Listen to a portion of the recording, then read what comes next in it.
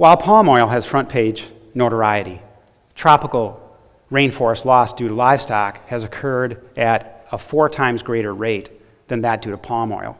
In the last 25 years alone, 10 times more rainforest has been lost due to raising livestock than what's been lost due to palm oil. So, so be concerned about palm oil, certainly, but then be 10 times more concerned about livestock and animal agriculture. Tropical rainforests cover 5 million square miles, which is 8% of Earth's land surface, housing more than one half of the world's 10 million species of plants, animals, and insects, many more millions left undiscovered, likely.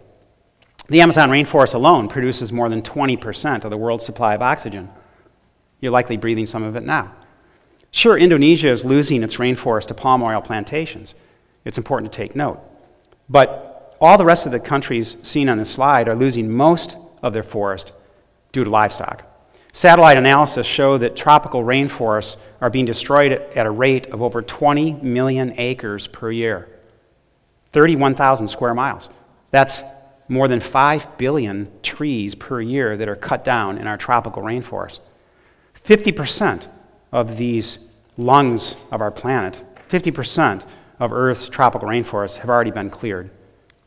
Unfortunately, for those living in a rainforest, this is what a, a few thousand to a million year old tropical rainforest now looks like because the world's food priorities are with eating livestock, not with being stewards of other living things, as we should be. This is the sad result the burning and bulldozing of rainforests. Soon, grass, pasture, and cattle will follow this in. Usually, erosion, desertification, and localized climate change as well. If you choose to eat livestock here in the United States or anywhere else in the world, you're, you're supporting this destruction by fueling the global demand for meat. Brazil announced two years ago that deforestation in their country hit a 24 year low, which sounded good.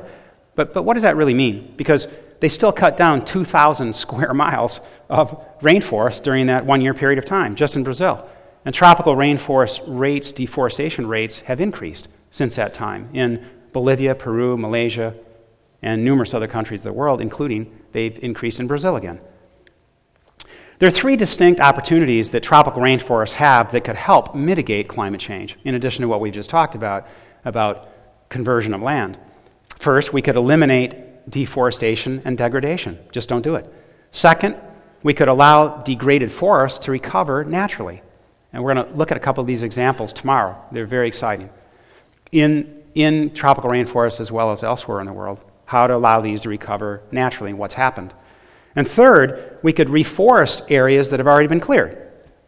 These efforts alone could sequester and also avoid greenhouse gas emissions up to 5 gigatons per year. That's about one half of the current total emissions from fossil fuels. It's amazing, it's an amazingly simple approach to climate change that also fosters biodiversity and prevents further extinctions. Between 70 and 80 percent of all rainforest loss in the Amazon is due to raising cattle, with another 10 percent lost due to growing crops to feed them and other livestock. And remember, again, these livestock are grazing. It's, it's not a matter of factory farming. A, a, a quick word about soy. Uh, 90% of the soy grown in the world, plus or minus a couple of percents, depending on who you're, who you're viewing, 90% of the soy grown in the world is fed to livestock. Only 7% is used for direct human consumption.